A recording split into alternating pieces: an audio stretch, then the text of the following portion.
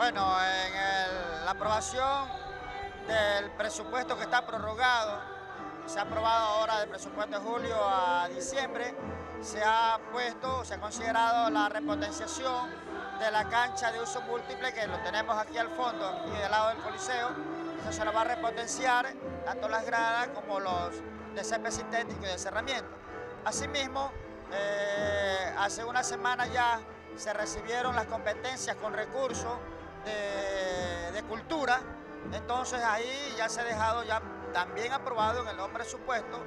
un pequeño recurso para lo que es eh,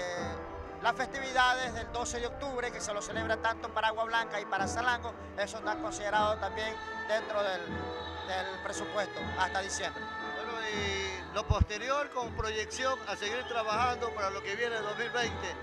para estos lugares que necesitan de la ayuda de la de la institución municipal en este caso. Eh, claro que sí,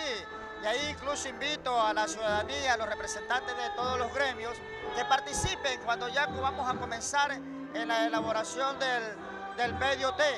Entonces que participen en la elaboración también del presupuesto participativo para que se pongan eh, realmente las necesidades que se tienen y que si no se lo pueden cumplir de manera inmediata, pero ya se la tiene dentro del banco de necesidades que tiene la población. En este vigésimo tercer aniversario, pues felicitar a todos y cada uno de los habitantes de esta mi parroquia por eh, seguir aportando hombro a hombro, ciudadano a ciudadano, para el desarrollo y engrandecimiento